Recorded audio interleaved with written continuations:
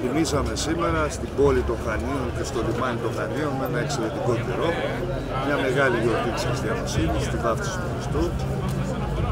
Εύχομαι η φώτιση του Αγίου Πνεύματος να δώσει τη γνώση που απαιτείται σε όλο τον ελληνικό λαό ώστε σύντομα να ζήσουμε μέρες μιας καινούργιας Ανάστασης στον τόπο μας.